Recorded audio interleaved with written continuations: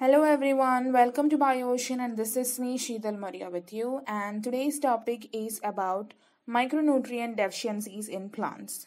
Talking about micronutrients, these are kind of substances which a plant essentially requires for its growth and the amount of these micronutrients required is very much minimal. And whenever this minimal threshold level of micronutrient drop off in a plant, it will tend to develop certain diseases and associated symptoms and later it will lead to death. And that is what we are going to deal today in this video. And before getting into the video, if anyone of you are new to my channel, please go and subscribe to my channel and press the bell icon so that you can get the notifications whenever I upload a video. In case of boron deficiency, discoloration of leaf buds are the primary symptom and it will eventually lead to the breaking and dropping of buds. In sulfur deficiency, leaves will be very light green in color, veins will be very pale green in color, and no spots will be available on the surface of the leaves. Magnesium deficiency creates paleness from leaf edges and there will be no spots as in case of sulfur deficiency.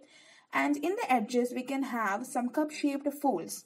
And during the extreme deficiency, leaves will die and drop and eventually the whole plant will die. In case of iron deficiency, leaves will be very pale, no spots will be seen on the surface and the major veins on the leaves will be seen as very dark green in color.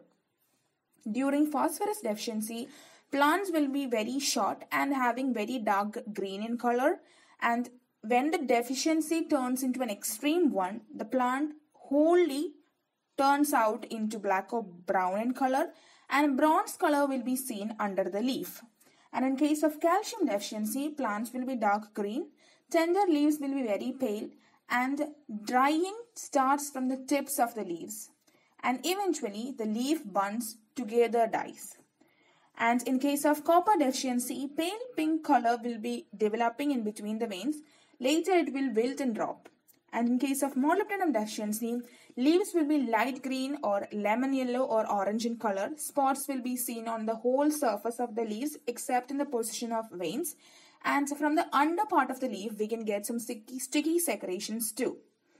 In case of potassium deficiency, there are small spots on the tips. Edges will be very pale and these spots will turn rusty whenever it turns into an extreme one and the fold will be at tips of the leaves.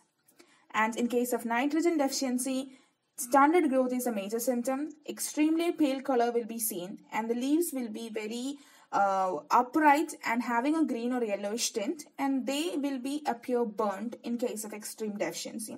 These are the major micronutrients, their deficiency disorders and associated symptoms that plant shows whenever there is a deficiency and hope you like this video and you find this effective.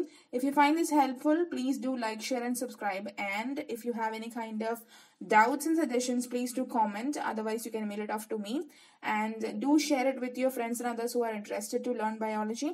Thank you for watching. God bless. Thank you.